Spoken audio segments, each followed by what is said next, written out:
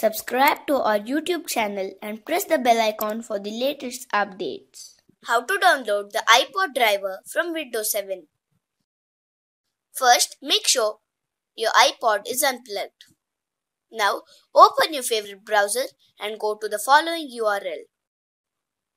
Link to this URL is also given in the YouTube video description.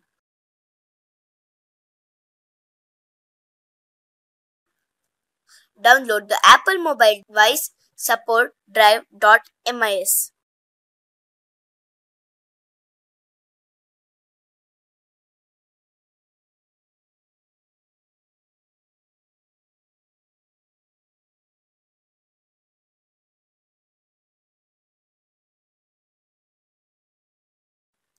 Install the file and restart your computer.